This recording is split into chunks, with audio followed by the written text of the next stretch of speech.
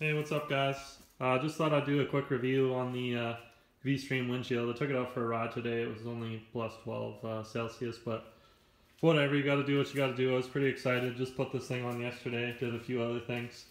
Um, I read a lot of reviews on this uh, windshield. I kind of found it the day that I was ordering it.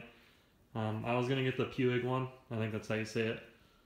Um, then I decided that this thing it had uh, wind tunnel results and charts or whatever. And uh, no, I think it's pretty uh, pretty sweet. I had no air on my body hardly at all, even around my shoulders. I think with that, well, the V stream part of that, this little here, it seems to kick it off um, quite well. I've next to no wind on my body. Uh, pretty much a dead zone from up to at least my chin. I'm about 5'10", uh, 5'9", somewhere in there and it uh, seemed to work perfect for me. It, it did feel like it was a little, uh, if you crouch down a little bit and get lazy, that it would get louder, but and above, uh, if you just sit normally, it uh, was pretty quiet on the helmet, um, a lot quieter than without. So I'm pretty happy with it. The fit and finish was pretty amazing. Um, it was really uh, simple, but it's nice, thick uh, plastic. I don't think I'll ever break it on anything. The mount is well made it kind of gives you room to put stuff up in there. I might put my GPS up in there. I don't know. Um, we'll see.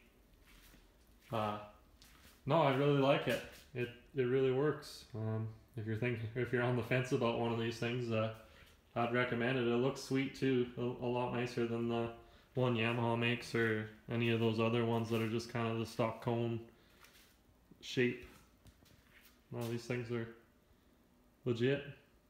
I really like it. Um, if you got any questions or whatever, I only have one ride with it.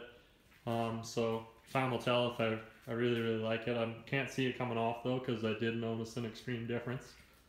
And uh, that's all you can really ask for. This is a sport one.